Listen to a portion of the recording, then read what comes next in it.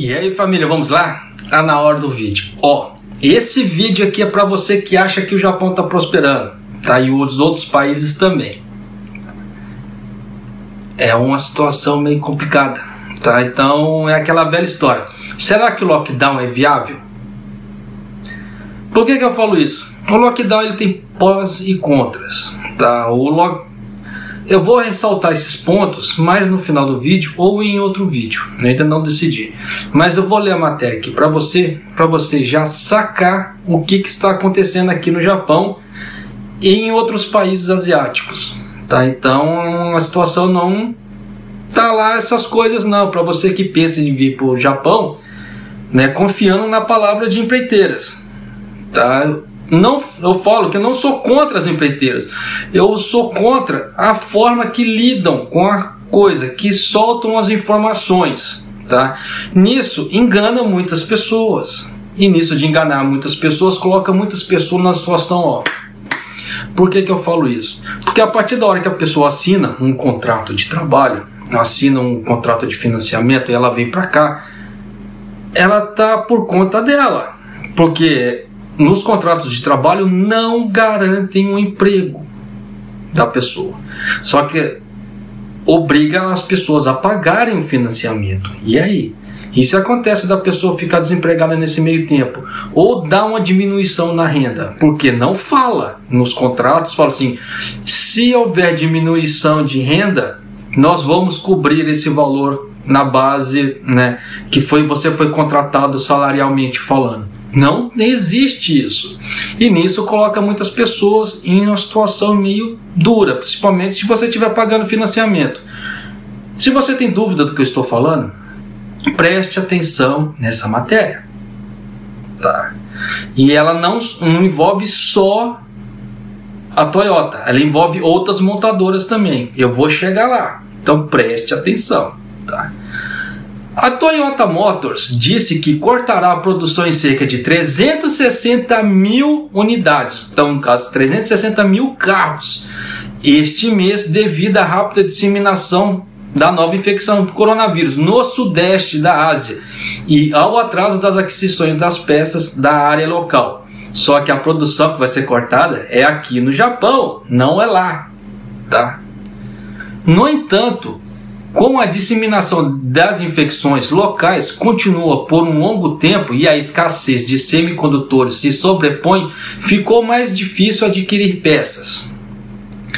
Como resultado, a produção deste mês será pela metade, será cortada pela metade do plano original e a produção do próximo mês será cortada em 60%. Além disso, as perspectivas para novembro, além de incertas, você já vê que para novembro eles não sabem o que fazer, tá? As perspectivas para a produção doméstica e internacional para o ano atual foram reduzidas dos 9,3 milhões de unidades para um nível de 9 milhões de unidades. Então você já viu que deu uma grande diminuição. Por que, que a Toyota não sabe disso? Não sabe falar? Porque a Toyota ela trabalha com o sistema just in time, que é o, é o sistema de produção da Toyota. O que, que isso quer dizer? Que eles trabalham com praticamente estoque zero. Por isso que eles têm uma cadeia de logística muito forte, muito refinada, que o governo japonês em alguns estados começou a usar para poder fazer o fornecimento da, das vacinas para poder evitar aquela história de desperdício de vacinas que estava acontecendo, porque chegava um estoque muito grande, as geladeiras quebravam ou os cabeçudos tiravam as tomadas da geladeira e acabava se perdendo as vacinas. Então, o que, que o governo japonês estava fazendo? Usando o sistema da Toyota, tanto que especialistas de logística da Toyota foram ajudar o governo japonês. O que, que significa? No, na parte do governo, na, desculpa, na parte do local da vacinação, se ela já tinha 100 vacinas em estoque, ela usou 20 só, então apenas 20 seria pedido para o governo. Tá, resumindo a coisa, então o sistema de logística teria que ser muito rápido para chegar cobrir essas 20 vacinas. Então ela sempre teria aquele tanto, tá? Com uma margem de diferença por causa de perdas. Então a parte de como é que se fala do do excedente quase não existe. Ela tem uma margem que ela trabalha com uma margem de segurança para evitar.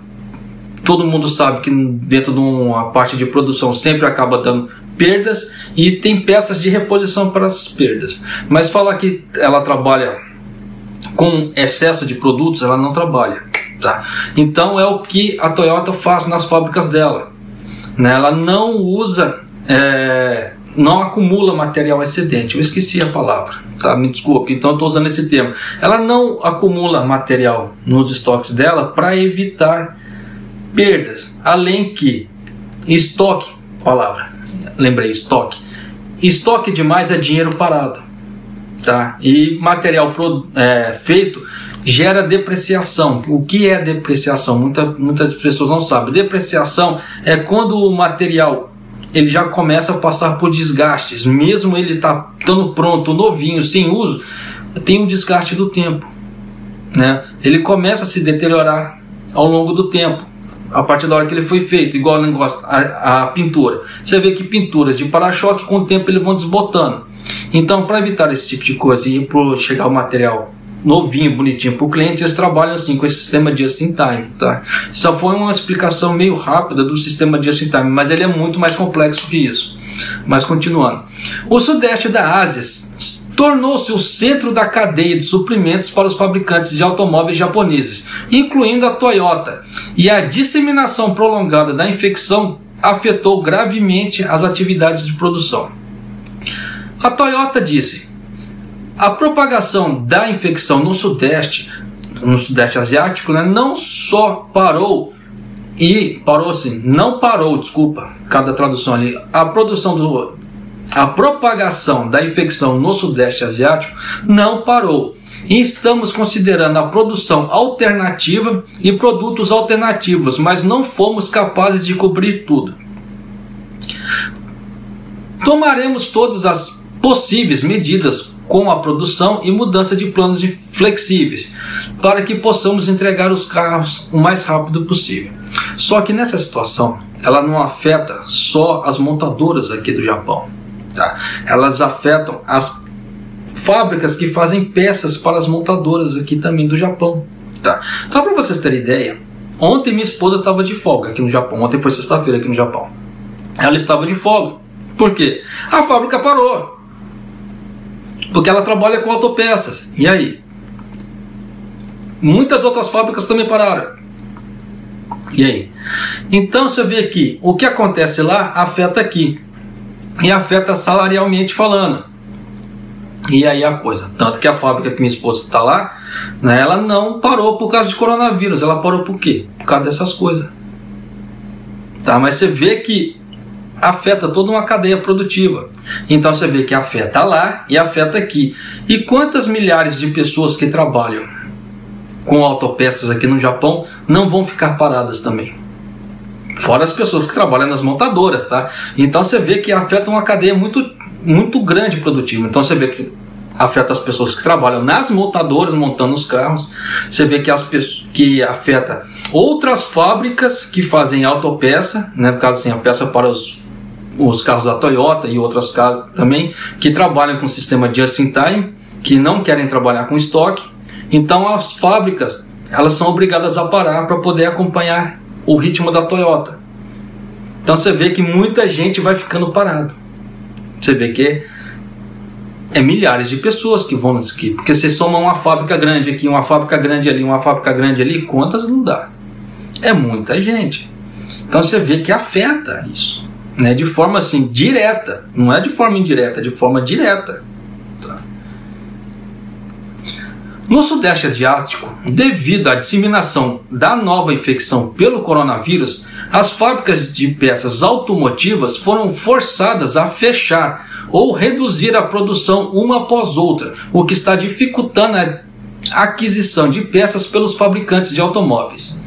Na cidade de Ho Chi Minh, no sul do Vietnã, onde a infecção generalizada as autoridades governamentais exigem que os funcionários permaneçam nas instalações das fábricas ou em alojamentos especificados como condição para poder trabalhar nas fábricas. Então não pode voltar para casa, tem que ficar lá para poder evitar os focos de infecção, de ir e voltar e ir para outros locais, para você ver como é que o bicho pegou para lado de lá.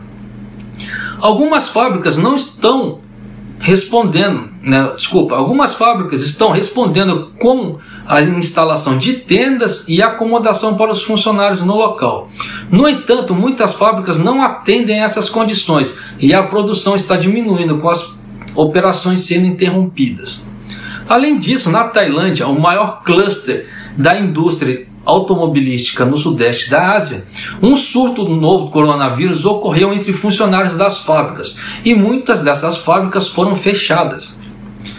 Como os principais fabricantes continuaram recentemente a expandir suas cadeias de suprimentos da China ao, para o Sudeste Asiático, a disseminação das infecções teve um impacto muito maior na produção. Não só a Toyota Motors, mas também outros fabricantes de automóveis são obrigados a tomar medidas como suspender a operação de, das fábricas, devido a dificuldades em adquirir as peças de clientes no Sudeste Asiático. Então presta bem atenção agora, que eu não vou falar só da Toyota, tá? Vou falar de outras empresas também. Por isso que eu falo que é milhares de pessoas. Milhares é diferente de milhões, tá? Não confunda milhares com milhões, tá? São milhares. Olha só, outras fabricantes de carro aqui do Japão. A Subaru decidiu suspender as operações em três fábricas na província de Guma, do dia 7 ao dia 17. Eu tinha lido essa matéria, só que eu não quis colocar para evitar certas polêmicas, até porque eu tenho um número limitado de três matérias, de três, quatro matérias por dia. Depois disso, o YouTube não divulga mais os vídeos do canal, não não passa, como é que se fala assim, ah, por mais que a pessoa seja inscrita, clicando no, no, sininho lá para receber as notificações, o YouTube não notifica as pessoas. Então eu tenho um número limitado de 3, 4 vídeos no máximo por dia que eu posso soltar. Então eu tenho que dar uma resumida. E um dia que saiu essa matéria, eu já, tava, já tinha extrapolado esse número, então não pude soltar. Tá? Mas de qualquer maneira saiu. Tá? Esse aviso também. A Suzuki também decidiu suspender as operações de sua fábrica na província de Shizuoka por até cinco dias nesse mês. A Daihatsu decidiu suspender as operações em sua fábrica na prefeitura de Shiga por 17 dias e em sua fábrica em Osaka por 15 dias. Se você levar em conta, tem mais, tá? Eu vou chegar lá. Se você levar em conta que o mês tem 30 dias e o, o calendário normal é de 5 dias por semana, e se metade desses 15 dias não é trabalhado, a pessoa vai receber só 15 dias. E aí? Vocês entendem então o porquê da às vezes que um lockdown ele é necessário? A curto prazo, ele vai dar uma detonada no bolso da, da galera. Por isso que os governos têm que ajudar nesse ponto. Só que a, a médio e longo prazo, dependendo da forma que é feito, ele segura mais a situação. Você vê a Nova Zelândia, como é que ela está segurando. Tá praticamente assim. Dê um foco meio grande ali, você já para. Puf! Depois o país consegue andar, consegue fluir tranquilo. Diferente dos outros países que fizeram aqueles lockdowns meia boca. Então, realmente você vê que o lockdown, às vezes, ele bem feito, ele segura muita onda. Tá? Por mais que financeiramente dê um arrombo no bolso da galera, no início, mas depois, a longo prazo, eles conseguem segurando se o governo conseguir manter as rédeas. Né? Então, consegue manter melhor a vida das pessoas trabalhando. Claro que traz aqueles impactos. Eu vou levantar os pontos pós e contras do lockdown em um, um, outro momento, mas tem horas que é realmente necessário, dependendo, porque a, não afeta só o Japão, afeta outros países e essas cadeias produtivas afetam para o lado de cá. O que, que vai acontecer? Os administradores das empresas vão ter que começar a pensar uma outra maneira de pegar esses suprimentos tá? Porque senão sempre vai ocorrer essa interrupção e nisso quebra as pernas. Porque quando você compra o carro, basicamente, dependendo, você tem um contrato.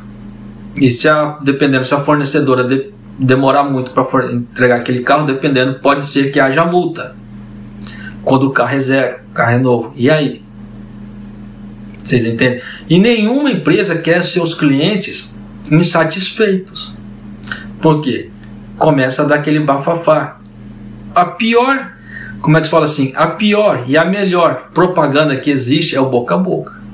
Então, se existe uma coisa boa, ela de boca a boca, as pessoas tendem a escutar, passar e as outras guardam aquilo. Da mesma forma, o boca a boca ruim. Se você falar assim, ah, tal lugar é ruim, tal coisa é ruim, e as pessoas acreditarem naquilo, pega aquela impressão, tá? Então, realmente é algo perigoso. Por que, que você acha que o canal aqui não cresce? Porque tem muita gente contra o canal. Quando o canal foi aberto, os mais antigos devem se lembrar disso. Era muita gente metralhando todo dia o canal. Então você vê que o canal aqui incomoda muita gente, principalmente outros canais de mídia que tem aqui do Japão. Né? Ele incomoda mesmo, porque eu falo rasgado e eu, dependendo da matéria, são matérias que eu coloco que os outros não têm coragem de colocar ou não acham. E nisso o que, que acontece? Já viu, né? Então por isso que às vezes o canal não consegue crescer muito por causa disso, tá? Por causa desse boca a boca também. Já teve outros canais, outro canal, tá? Que ele pegou um vídeo meu e praticamente assim, ele falou assim, tudo, tudo ao contrário do que eu estava falando. Para tentar me denegrir, para tentar denegrir o canal. Só que no final das contas, o que, que foi provado? Perante assim ao público. Quem que estava certo? Era eu ou era ele? Aí que tá. Tá? Então, por isso que eu falo assim, o tempo é o tempo, o tempo mostra tudo. Então, por mais que as pessoas tentem dar porrada no canal aqui, né, o tempo mostra quem que tá certo, o tempo mostra quem que mente, o tempo mostra quem que tá agindo de má fé, o tempo mostra quem que usa clickbait. Tá? Mas continuando aqui. O impacto está se espalhando para os fabricantes de veículos comerciais. Neste mês, a Mitsubishi Fuso Truck and Bus decidiu suspender a produção de caminhões em sua fábrica principal na cidade de Kawasaki por sete dias. Em ambos os casos, o impacto está se espalhando por toda a indústria, caso assim automobilística, devido à escassez global de semicondutores, à dificuldade de aquisição de peças como fios elétricos chamados chicote de fios, devido à disseminação na infecção do sudeste asiático. Então você vê que afeta a cadeia produtiva aqui no Japão também. Então já dá para você sacar que muita gente, dependendo, vai ficar parado, vai receber menos esse mês, mês que vem e o outro mês só Deus sabe. Isso se a, se a situação aqui no Japão não der uma piorada no número do coronavírus. Porque agora que começou a diminuir tá, o, o número de infecções. Agora. Só que ainda está mantendo o patamar de 10 mil casos diários. Só que em contrapartida, por incrível que pareça, diminuiu está diminuindo o número de infecções, mas o número de pessoas em casos graves está aumentando. O que está deixando os, os, os, os casos dos hospitais estrangulados aqui no Japão. E aí? Né? Você vê que o governo estendeu o estado de, o estado de emergência e apenas dois estados saíram do estado de emergência para o estado de quase emergência. Você vê que é um número muito baixo. Por quê? Os hospitais estão lotados. Não tem o que fazer. Vai tirar como? Só que o governo japonês está querendo aliviar as restrições das pessoas. As poucas restrições que ainda tem. O que, que isso vai acontecer? Um tiro no pé. Escreve o que eu estou falando. Porque o inverno está chegando, vai dar outro feriado, outras pessoas vão para a rua. Só que no frio é pior, porque as pessoas tendem a aglomerar em ambientes fechados por causa do frio, diferente do calor, que as pessoas podem ficar nos ambientes mais abertos ou, em, ou ao ar livre mais tranquilamente. No inverno, não. E aí, como é que vai se fazer? Só que em contrapartida, eles vão colocar o certificado de vacinação aqui no Japão. Eu já tenho esse vídeo falando aqui. E vai haver muitas mudanças. E essas mudanças, para muitas pessoas, vai ser ó. Então, nessa brincadeira toda, só Deus sabe o que vai dar. O vídeo ficou comprido? Ficou. Isso porque eu não coloquei as considerações de lockdown, prós e contras. Eu nem vou colocar porque já está com 20 minutos de vídeo, vai ficar, ficou muito longo. Mas já deu para você sacar que como o coronavírus ele detona a cadeia produtiva, se não houver uma administração boa dos governos, tá? E para e para ilustrar também que a parte do Japão aqui não tá lá essas coisas de emprego. Tem emprego? Tem emprego. Tá? Mas você vê que a coisa está instável. Isso aqui está falando só da cadeia produtiva automobilística e autopeças. Isso se você contar os fornecedores de peças, de matéria-prima para essas fábricas e outros locais também, afeta muito mais a cadeia produtiva, é muito maior o impacto. Tá? Eu só contei ali as fábricas de autopeças, só que tem a cadeia de matéria-prima para esses locais também que é afetado. Tá? Então, se eu for fazer uma análise aprofundada aqui, vocês vão ver o tamanho do arrombo que dá esse tipo de coisa numa cadeia produtiva né, de forma macro, não de forma micro. Tá? Então é muita gente que vai ser prejudicada, muita gente está sendo prejudicada aqui no Japão. Por isso que eu tomo.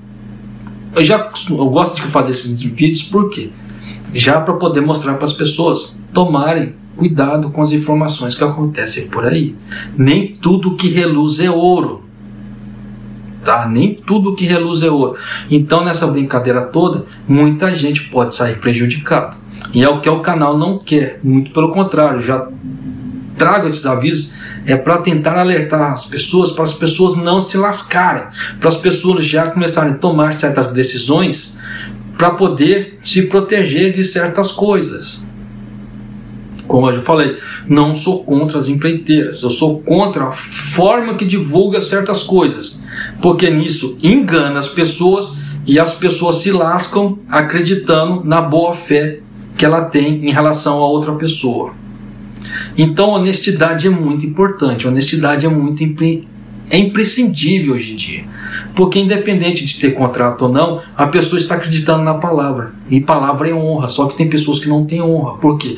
Para subir e conseguir dinheiro, ela atropela qualquer um. Não importa se a vida do outro tá boa ou tá ruim. Desde que ela fica boa, a pessoa ali fica boa, ela fica bem financeiramente, com saúde, foda-se o resto do mundo. Tá? Desculpa o termo. Tem pessoas assim, é, são pessoas meio psicopatas. Tá?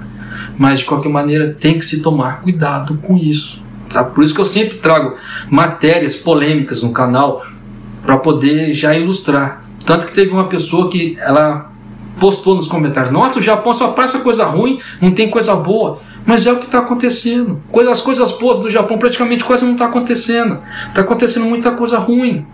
Então tem que alertar. Por quê? Para as pessoas já ir fazendo a poupança, as pessoas ir fazendo certos recursos, porque na hora que acontecer a bomba, a pessoa não fica a pé. Ó, só para você ter ideia, o prefeito de Osaka ele está pedindo lockdown. Houve uma reunião dos governadores aqui do Japão porque mudou, né? O como é que se fala assim, a pessoa que é o, o presidente do conselho da, dos governadores do Japão mudou. Tá? Houve eleição, outra pessoa foi venceu a eleição e mudou. E nessa, e nessa primeira reunião que houve, o governador de Osaka ele já pediu lockdown porque não está dando conta. Não está aguentando. Porque é um atrás do outro e estados de emergência não resolvem, não, não dão efeito. E os profissionais da saúde estão esgotados. Os caras não têm férias, os caras estão trabalhando direto. Faz, puxando plantões assim, a longas horas. E aí? Vai chegar uma hora que os profissionais da saúde vão falar: não, pera, eu vou sair desse ramo, não dou conta. Então você já imaginou? Por isso que eu estou fazendo esse vídeo longo, mas é para tentar trazer de forma consciencial para as pessoas. Eu sei que muito pouco vai chegar ao final desse vídeo, muito pouco.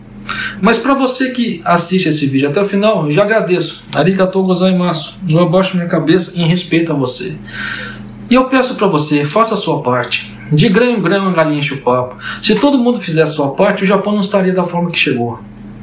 Porque tem muitas pessoas cabeçudas. Então você vê que o Japão está tentando levar a coisa Só que já está chegando num ponto que eles já estão pedindo lockdown. Até a oposição, que geralmente é contra lockdown nos outros países, que o governo fazia, a oposição era contra. A oposição aqui no Japão está pedindo lockdown.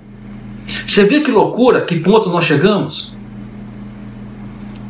É igual nos outros países, você vê que lá no Brasil lá fazia, fez o lockdown em certos locais, mas fizeram um lockdown meia boca. Por isso que não resolve. E aí? Então já dá para você sacar a importância de certas coisas, a importância de você e eu fazermos nossas, nossa parte para a coisa melhorar. De grão em grão, a galinha enche o papo. Tá? Mas para você que chegou aqui, até aqui, até o final desse vídeo, eu tiro meu chapéu para você.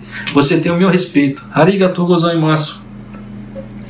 E espero que você faça a sua parte também para tentar ajudar a todos nós aqui ou aí no Brasil, tá? Porque por mais que seja uma, um grãozinho de areia, né? Parece insignificante, mas você vê que de grãozinho, grãozinho, forma-se uma extensão de, de praia, uma extensão de faixa de areia.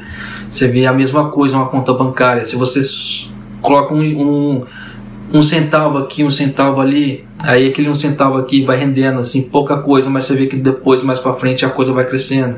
Ninguém ganha tudo muito de uma vez, a não ser que o cara tenha muita sorte e ganha no, na Mega Sena. Caso contrário, é tudo assim, trabalhado de forma gradual. Tá certo? Então peço a sua ajuda por favor, tá? E um abraço até o próximo vídeo, até mais.